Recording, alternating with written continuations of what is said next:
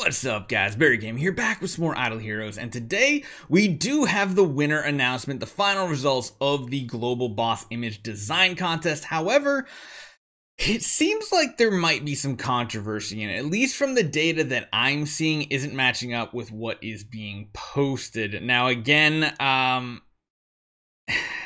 I want to really dump into this because, of course, they, they could have been like a different way to vote for those in China because, of course, I don't think they can use Google Forms in China. So maybe there's a different way, but the percentages we're seeing are matching up very close to what we're seeing somewhere else. And I just I just want to get your guys' opinion. I want to show you guys all the results that we have so far to see what this actually looks like. So, um, yeah, let's jump right into it. Make sure you guys take one second, hit that subscribe button if you have not, and go enter the giveaway we did earlier today. Uh, it's a really, really, really good uh, Origin 5 Doom Terminator Vulcan, really amazing account. So make sure you guys hit that subscribe button, go do that. Let's jump into the, the contest and what I think is a little bit of controversy.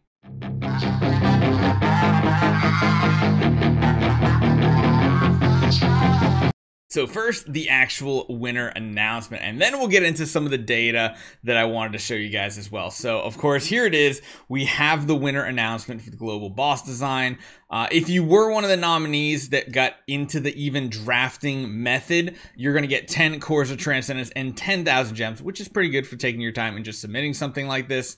Uh, those who had the best popularity, these are the top, what, uh, nine, it looks like, not actually 10, nine of them. You're going to be getting 20 cores, 100 heroic scrolls, and 20,000 gems. And then we have the actual winner here.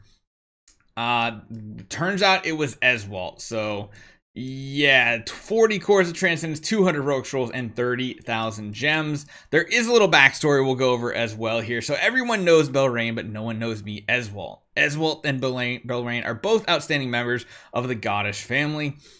They have been smart and thoughtful since they were young, and they learned family magic very quickly. Uh, they were considered by the family to be candidates for saintliness or saint, saint saintliness. I don't know. Uh, but the difference between Eswalt and Belrain is that she doesn't have a heart and awareness of self-sacrifice. So no matter how good and hard work Eswalt is, the family will not pass on the qualifications of a saint to her. On that day, Belrain has chosen the family by the family as a saint and went to the highest heaven and become the God, envoy of God. Eswalt's unwillingness and jealousy finally turned into endless hatred. She resolutely left the family and went to a distant place to find darkness. So, I mean, it is cool artwork. I will say that much.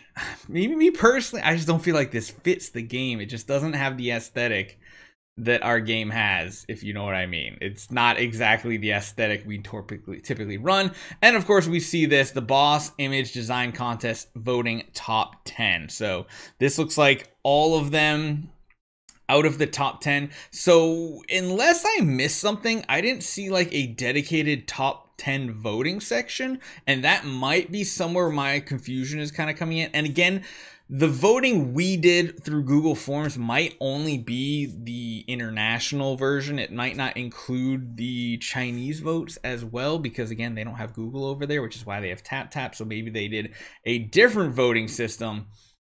Because when we do come over to here, I want to show you guys. Uh, so in the boss design contest, you can actually see the results essentially.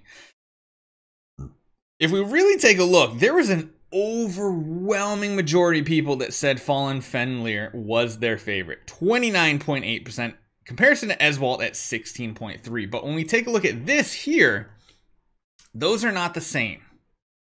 Like not even by far. And I'm wondering if does this is this like a separate percentage added up here? Like again, if there was like a top 10 that I'm not aware of, which again, I don't think I saw a dedicated top 10. I'll just double check while we're here just to make sure, but the last post I saw was in fact the one on the 24th where it says the clock is ticking, uh wait no more to vote for your designs and yeah, it's already the one that I submitted on, which seems to be this one. Uh, and the percentages seem a little skewed compared to what the results actually were on this document. Actually, it might be easier if I turn this to dark mode.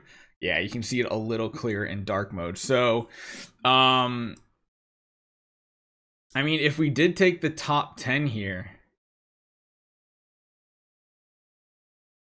I wonder if the, the top 10 even like match up. So we got Void Duke, Darkon, which was one of the favorites, honestly. It was actually still above Eswalt. But over here, it was like not even close. Eswalt had the top. The thing is, Fallen Fenrir, 11.75%. I don't, I mean, I guess this is for global.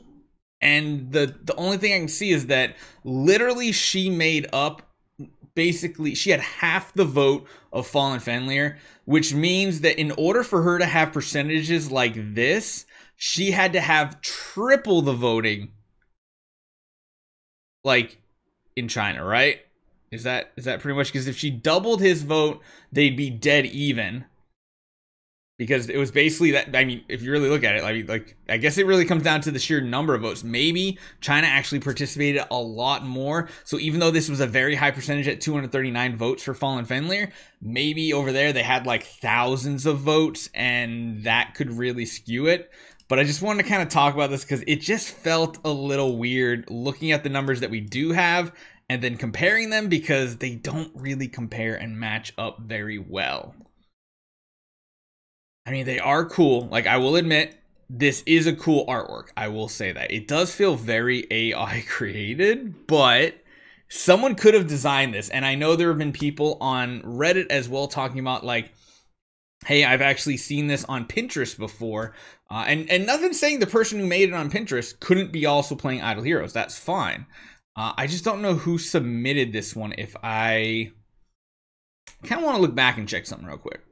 So I actually did a little bit more digging and found this right here from the WeChat voting. So I will say the difference of where is Fallen Fenrir. Like, yeah, so Fallen Fenrir, which you can't even really see very well, it's actually down the very bottom here. Let me actually shift this up just a little bit, if I can, uh, a little bit. That's more than a little bit. Um, so yeah, Eswalt had 295 votes versus 57. So in reality, I mean, I guess what we need to do is no, not even this page. We need to take a look at this page here. So let's let's map this out just to make sure there's not anything. 239, right? 239 plus how many did he get here? 57 plus 57 is 296 votes, okay? Versus 295, which again, this one vote here pretty much trumped everything else that he had gotten here, which is why I want to make sure you guys understand we got 131. This is where the 426 came from, which does that does it actually have the vote count here? It does not. But I will say that is specifically that that looks like that is the reason why because we got both of these different voting situations coming in and as you can see the popularity is just way way higher. So as much as people want to make this a controversy, it just comes to global voting, which is why what you see on our Google Sheets or Google Doc here is not going to be the final results here. Just want to make sure we clarified that so there wasn't confusion because I've already seen a ton of Reddit posts and everything. At the end of the day, though, no, there shouldn't be any controversy. It truly is the winner of the contest.